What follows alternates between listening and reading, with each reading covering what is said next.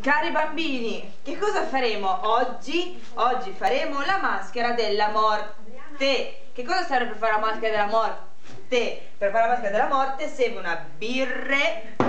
Fatevela aprire dalla mamma con le bottiglie, che non mi fate male. Birre.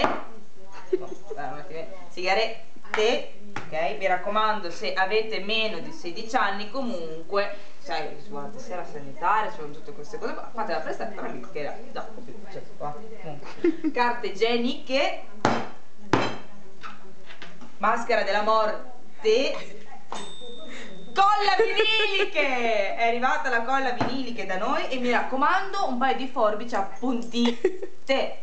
Dopodiché il risultato finale ad art attack sarà la maschera della morte. Ditelo insieme a me! Della morte!